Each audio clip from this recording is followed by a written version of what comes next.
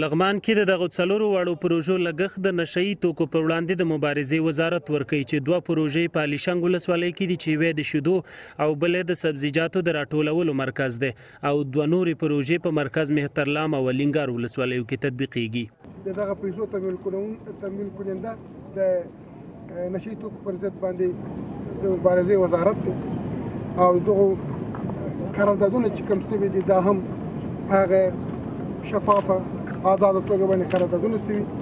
او دغه قراردادونو مکلفیت دا دی چې پروژې په خپل وخت د ښه کیفیت سره سرته ورسوي او دلته دغه ادارو او د خلکو په خدمت ورته تسلیم کړي په دغو ټولو پروژو څه کم شپږ میلیونه افغانۍ لګښت راځي. د پروژو د بنسټ د تیږې ایښودنې لپاره د نشه یي توکو سره د مبارزې وزیره سلامه تعظیمي هم راغلې وه.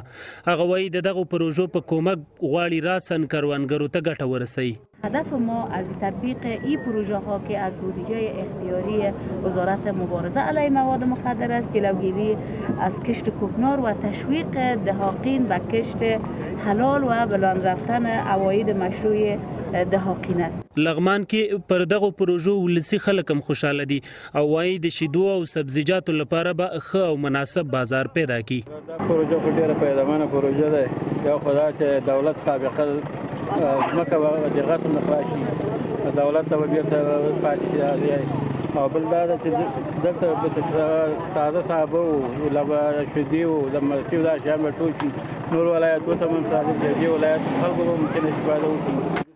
د لغمان ولسی استازو له وزیر وغوښتل چې د نشه یي توکو د کر د مخنیوي په هدف دې